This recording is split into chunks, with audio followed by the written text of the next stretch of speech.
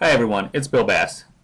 Today I wanted to talk a little bit about how to unclutter your inbox. I know I get a lot of email and it helps me to be able to organize it into folders and things like that because truly otherwise it gets lost.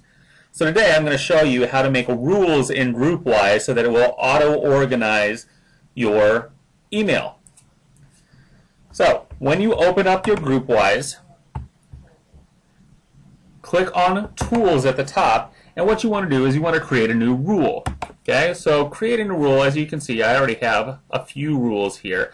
I'm going to make a new rule so that anytime, for our example here, anytime that I would get an email from me, it would go into a very specific folder. So I'm going to call my rule name Bill.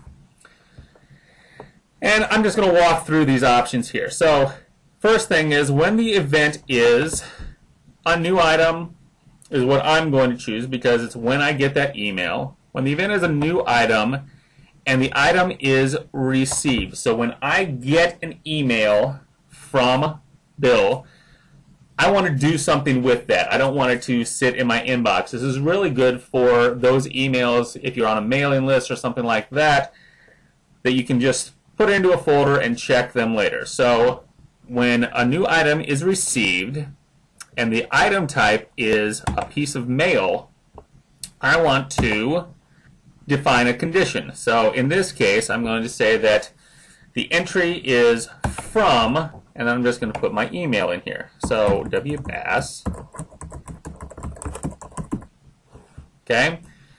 If I get an email from wbass then what I want to do, just click OK, is take the action of moving that item to a specific folder. So in this case, I'm going to go into my cabinet,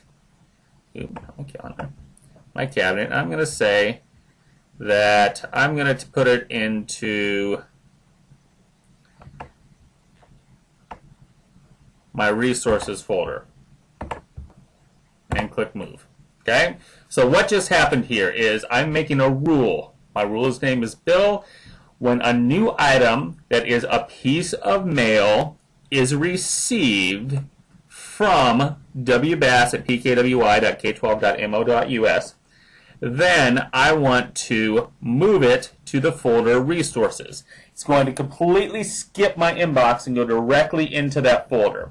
When I save that, it is now in my list. This is the same way that you can do a vacation rule or rules for specific mailing list or from specific people. There are a lot of ways to use this, but you just make a new rule that will immediately throw it into a folder or do something else with it. You could mark it as important. You could send an auto reply if it's to a specific person.